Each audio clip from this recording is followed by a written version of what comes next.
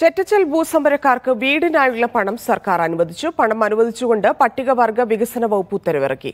കൈവശാവകാശ രേഖ ഉള്ള പതിനെട്ട് കുടുംബങ്ങൾക്ക് ഇതോടെ വീട് നിർമ്മിക്കാനാകും. ഇരുപത് വർഷം മുമ്പ് ഭൂസമരം നടത്തി പിടിച്ചെടുത്ത വനഭൂമിയാണിത്.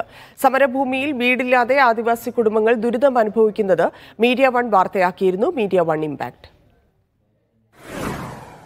Muhammad Ashiq ചേരുന്നു. ആഷിഖ് സമരഭൂമിയിൽ വീടൊരുങ്ങും എന്നുള്ള ആ നല്ല വാർത്ത വരുന്നു. നമ്മുടെ ഇടപെടൽ കൂടി അതിലുണ്ട് എന്നതും സന്തോഷകരമാണ്. എന്തൊക്കെയാണ് വിശദാംശങ്ങൾ? തന്നെ ഇരുപത് വർഷം മുമ്പ് ചെറ്റത്തലിൽ വനഭൂമി പിടിച്ചെടുത്തുകൊണ്ട് മുപ്പത്തിമൂന്ന് ആദിവാസി കുടുംബങ്ങൾ നടത്തിയ സമരത്തിന്റെ സാക്ഷാത്കാരം എന്ന് വേണമെങ്കിൽ പറയാം. ഇപ്പോൾ ഇറങ്ങിയിരിക്കുന്ന ഈ ഉത്തരവ്. ഈ മുപ്പത്തിമൂന്ന് കുടുംബങ്ങളിൽ പതിമൂന്ന് കുടുംബങ്ങൾക്ക് വീട് നിർമ്മിക്കാനുള്ള അനുമതി സർക്കാർ നൽകുന്നുണ്ട്. ഇതിന്റെ പണം അനുവദിച്ചുകൊണ്ടുള്ള ഉത്തരവ് പട്ടികവർഗ വികസന വകുപ്പ് പുറത്തിറക്കി. വിവിധ ഘട്ടങ്ങളിലായി നാല് ഘട്ടങ്ങളിലായി ആ നാല് ഘട്ടങ്ങളിലായി ആറ് ലക്ഷം രൂപ സർക്കാർ വീട് നിർമ്മിക്കാനായി ഇവർക്ക് നൽകും. ഒരു പട്ടികജാതി വകുപ്പിന്റെ പ്രത്യേക ഭവന നിർമ്മാണ പദ്ധതി അനുസരിച്ചാണ് ഈ- ഈ പണം അനുവദിച്ചിട്ടുള്ളത്.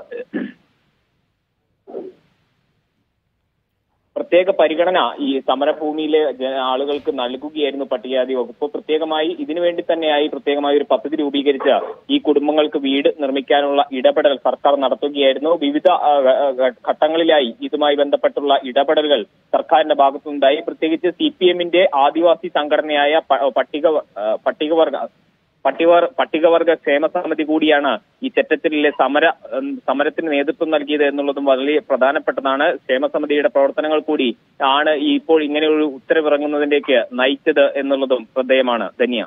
ശരി ആഷിഖ്.